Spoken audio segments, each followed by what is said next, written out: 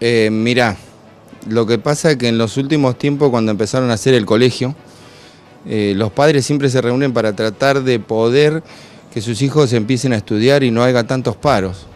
En estos últimos tiempos ves que el colegio se reformó, quedó brillante, muy lindo, pero lo que tiene es que a veces en la semana tienen dos días de colegio y el resto no lo tienen. Entonces los padres lo que están haciendo y queriendo en las reuniones que hacen es tratar de que sus hijos estudien y tengan un buen futuro. Eh, con respecto a, al hecho de violencia ocurrido el jueves anterior, donde un chico con un cuchillo lastimó a otro.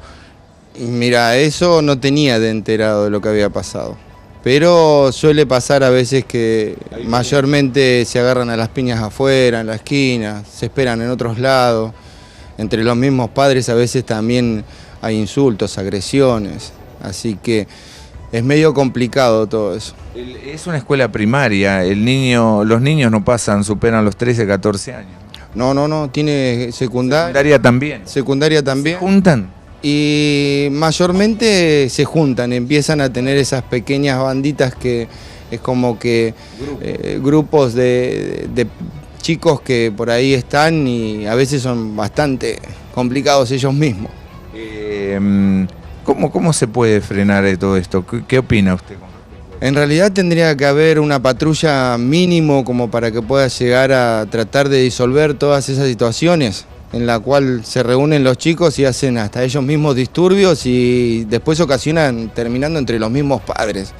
Que eso no tendría que pasar. Estando una patrulla todos los días, es como que van a tener un poco de respeto entre ellos mismos, hacia los profesores, hacia el, el- el mismo instituto que lo que está haciendo es tratar de mejorar poco a poco y día a día. Eh, o sea, lo- la patrulla sería bueno en horas, digamos, en el ingreso y el, el egreso de los chicos.